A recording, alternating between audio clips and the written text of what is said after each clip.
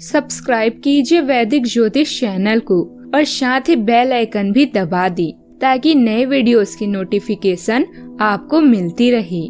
जय संतोषी माँ। दोस्तों, स्वागत है आपका वैदिक ज्योतिष में। जानते हैं आज क्या कहती है आपकी राशियाँ। कैसा रहेगा आपका दिन? शुरुआत करते हैं आज के सुविचार से। उम्मीद एक ऐसी ऊर्जा है, जिससे ज़िंदगी का कोई भी अंधेरा हिस्सा रोशन किया जा सकता है। अगर ज़िंदगी को कामयाब बनाना है तो याद रखें, पाँव भले ही फिसल जाए पर ज़ुबान को कभी मत फिसलने देना। किसी का एहसान कितना भी छोटा हो, उसे कभी मत भूलना और अपना एहसान कितना भी बड़ा हो, उसे कभी मत जताना। आज का पंचांग 21 जनवरी 2024 दिन रविवार। पौष मास के शुक्ल पक्ष की एकादशी तिथि, शाम सात बजकर सत्ताईस मिनट तक रहेगी। इसके उपरांत द्वादशी तिथि प्रारंभ हो जाएगी। रोहिणी नामक नक्षत्र रात्रि तीन बजकर बावन मिनट तक रहेगी। इसके उपरांत मृग शीर्षा नामक नक्षत्र प्रारंभ हो जाएगी। आज का राहु काल, अर्थात दिन का सबसे अशुभ समय, शाम चार बजकर इकतालीस मिनट से छह बजकर दो मिनट तक रहेगा। आज का अभिजीत मुहूर्त, अर्थात दिन का सबसे शुभ समय, दोपहर बारह बजकर सोलह मिनट से बारह बजकर उनसठ मिनट तक रहेगा। आज का ब्रह्म मुहूर्त। सुबह पाँच बजकर छत्तीस मिनट से छह बजकर पच्चीस मिनट तक रहेगा। आज चंद्रमा वृषभ राशि पर संचार करेगी और आज सूर्य मकर राशि पर रहेंगे।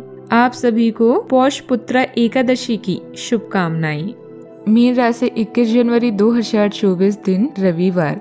अचानक कोई घरेलू परेशानी पैदा हो सकती है, जो किसी चोरी या दुर्घटना के कारण होगी। यह अस्थायी नुकसान है क्योंकि जल्द ही भाग्य आपके साथ होगा। अपने दोस्त भाई बहन के साथ खाली समय का मज़ा लें। नेटवर्क के अवसर पैदा होंगे, जिससे आप अपने आकर्षण को दिखा सकते हैं। अपना और दूसरों का आदर करना आज आपको सम्मान दिलाएगा। दूसरों के प्रति संदेशशीलता और उदारता आपको सबकी आँखों का तारा बना देगी। आपके सितारे, समारोह या यात्रा की तरफ़ भी इशारा कर रहे हैं। यह समय अपनी चतुराई पर गर्व करने का है। एक विनम्र तरीके से आप दुनिया को बदल सकते हैं। इस राशि के लिए ग्रह स्थिति में अच्छा बदलाव आ रहा है। इनका भरपूर सम्मान करें और दूसरे आत्मविश्वास से अपनी उपलब्धियाँ हासिल करने के लिए मेहनत करें। निश्चित है आपको सकारात्मक परिणाम मिलेंगे। सामाजिक गतिविधियों में भी सम्मानजनक स्थिति रहेगी। दूसरों की चिंता न करते हुए आप अपनी बातों पर ध्यान देने की कोशिश करें। यदि किसी व्यक्ति को मदद की ज़रूरत है तो उनकी समस्या का समाधान हो जाएगा। दूसरे लोगों के बारे में विचार करके आप खुद के लिए तकलीफ़ बढ़ाएँगे। अपनी बातों को नजरअंदाज न करें। आपके करियर का चुनाव सही है। लोगों के आलोचनाओं को नजरअंदाज न करें। गलतियों में सुधार करें। पार्टनर से महत्वपूर्ण बातों में पारदर्शिता रखें। सावधानियाँ। किसी नजदीकी संबंधी के साथ मनमुटाव की स्थिति बनती है। तो इसके जिम्मेदार आप ही होंगी। इस पर मनन और चिंतन करना ज़रूरी है। इस समय आय के साथ साथ खर्च की भी अधिकता रहेगी। वैध की गतिविधियों में समय बर्बाद न करें। बात करते हैं लव लाइफ की। आज आप सोसाइटी के बंधनों से मुक्त होकर अपने लक को आजमाना चाहते हैं। अपने साथी के आकर्षण से भी आप बच नहीं पाएँगे। लव लाइफ से आप पूरी तरह से संतुष्ट हैं और आपकी सफलता इसी बात का प्रतीक है। अचानक आई घरेलू मुसीबतों से आपको कोई प्रभाव नहीं पड़ेगा।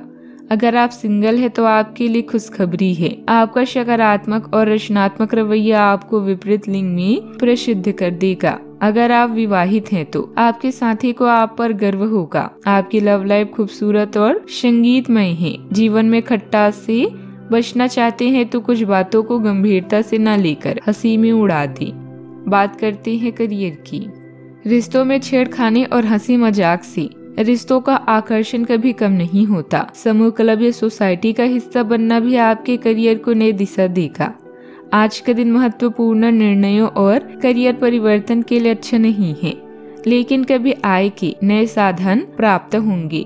आप खुद पर गर्व महसूस करेंगे क्योंकि आज पूरी दुनिया आपकी कार्य प्रणाली प्रवीणता और आत्म प्रयासों की तरफ़ इशारा कर रही है। आपकी संदेहशीलता और समस्या दूर करने वाला रवैया आपको लोकप्रिय व सबकी आँखों का तारा बनाता है। व्यापार संबंधित योजनाएँ और रणनीतियाँ बनाए। प्रयास करें और स्पष्ट रूप से आगे बढ़ें। किसी प्रतिष्ठित कारोबारी का मार्गदर्शन आपके भविष्य संबंधित रास्तों को प्रशत करेगा। पब्लिक डीलिंग मीडिया और मार्केटिंग संबंधित बिज़नेस में फ़ायदेमंद स्थितियाँ बनेगी। लेकिन अंदरूनी गतिविधियों पर नज़र रखना भी ज़रूरी है। नौकरी में सुकून रहेगा। बात करते हैं सेहत की। जिन व्यक्तियों को थायराइड है, वह लोग अपनी जाँच अवश्य करवाएँ। वैसे स्वास्थ्य अच्छा रहेगा। शरीर को डिटॉक्स करके सेहत में बदलाव करना संभव हो सकता है। आज का उपाय। आज अब गरीबों को दान पुण्य करें। हो सके तो गुड़ का दान करें या तांबे से बनी वस्तुओं का दान करें। शुभ रहेगा।